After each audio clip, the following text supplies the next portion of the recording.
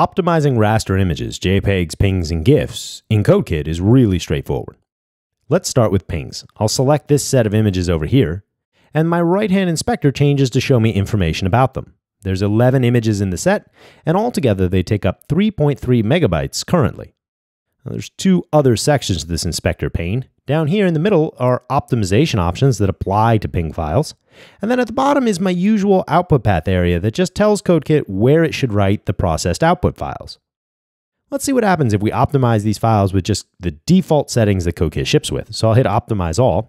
The app runs through those 11 files and we can see they now take up just 1.2 megabytes on disk, or a savings of 64.3%. Well, that seems too good to be true. How did we do that? Let's take a closer look at these options. The default PNG optimizer in CodeKit is a tool called PNGquant here. Now, PNGquant is basically black magic. The way it works is it opens up a PNG file and says, okay, I've got this file here. It has thousands of colors in it. What are the 256 colors I can use to show this file with the same visual quality? It figures those out and then changes every pixel to be one of those 256 colors.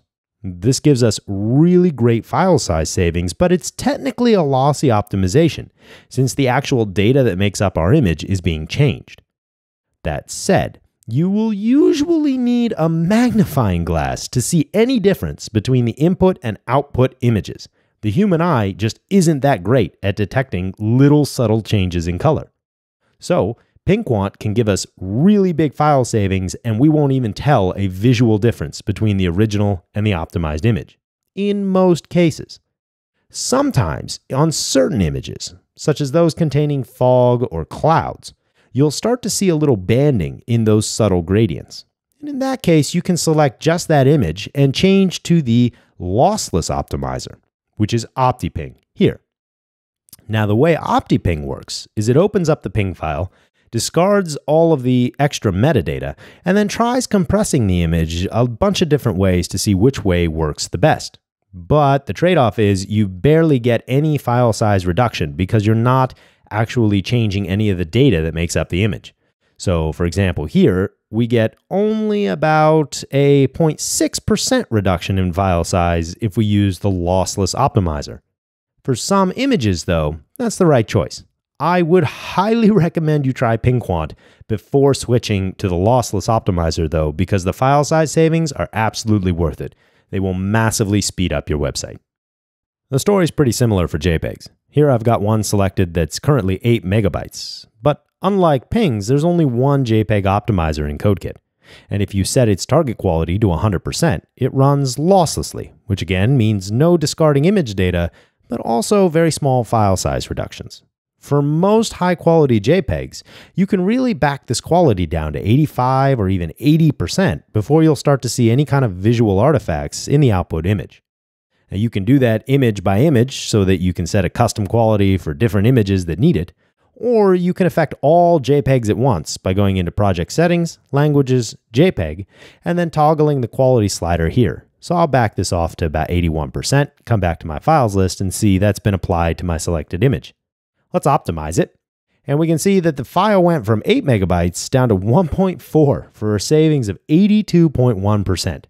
It's gotta look crappy though, right? Let's take a look. Here's the images folder. I'll open the original source JPEG, which is Aura, right here. And we can see it's a very nice looking desktop wallpaper.